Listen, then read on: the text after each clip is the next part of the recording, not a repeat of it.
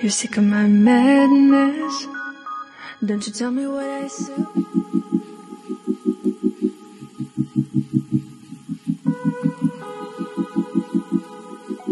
Hello and अस्सलाम वालेकुम welcome back to my channel I hope आप लोग बिल्कुल खैरियत से होंगे, मज़े में होंगे काफ़ी टाइम से जो है ना अपनी सेल्फ़ केयर नहीं हो पा रही थी तो मैंने सोचा कि आज जो है ना अपने आप को टाइम देना है और फ़ौरन से मैं अपने बिल्कुल घर के पास वाले जो पॉलर है, उस पर मैं चली गई।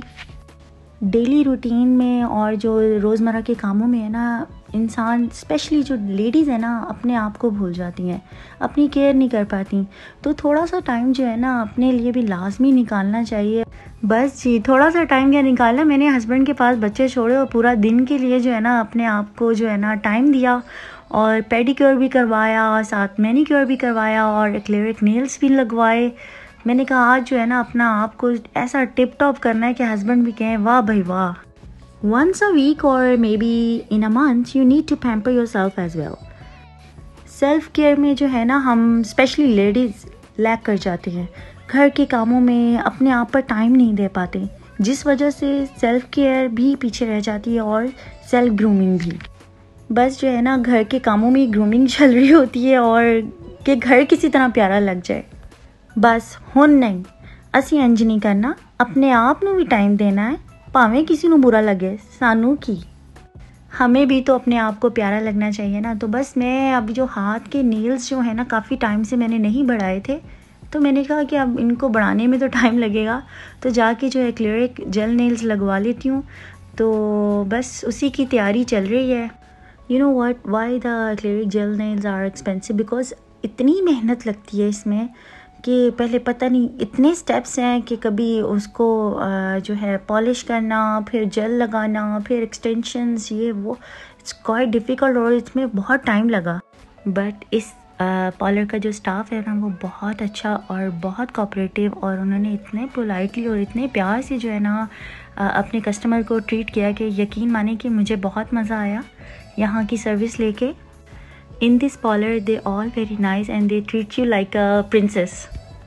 Anyways अब जो है जो नील्स हैं अप्लाई करती हैं इन्होंने। अब जो है, इनकी शेप्स बनानी है और इन पर जेल अप्लाई करनी है।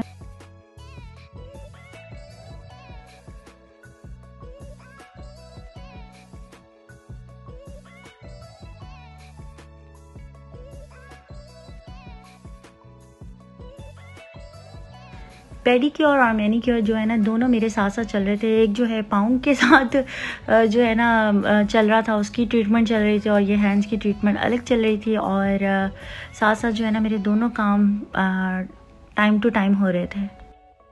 माई पेडिक्योर इज़ डन और एक्लेरिक नेल्स भी ऑलमोस्ट डन होने वाले थे, लेकिन अभी इसमें बहुत टाइम था तो I am just waiting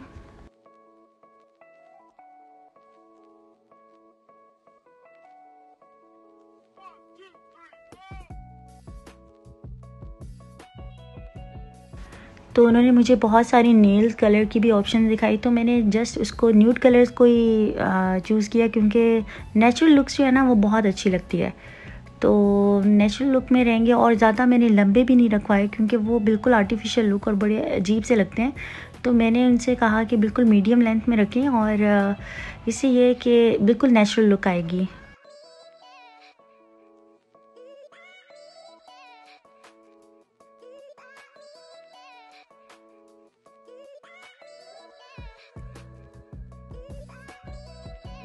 I hope आज की वीडियो में जो आपको मेरे एक्लेरिक नेल्स जेल नेल्स जो हैं, आपको अच्छे लगे होंगे और इनकी लुक आपको कैसी लगी, आपने मुझे ज़रूर कमेंट्स में बताना है कि आपको कैसे लगे मेरे न्यू लुक न्यू नेल्स और यकीन करें कि मैंने घर आके अपने हस्बैंड को भी दिखाया तो वो कह रहे थे, वाह जी वाह, ज़बरदस्त, कितने अच्छे लग रहे हैं। तो उन्होंने कहा, ऐसे नेल्स मैंने सिर्फ़ शादी के दिन देखे थे और अब मैं देख रहा हूँ। तो मैंने कहा, चलें थैंक यू सो मच और आई होप आपने आज की वीडियो को इन्जॉय किया होगा। Please do subscribe like comment and share अल्लाह हाफिज़।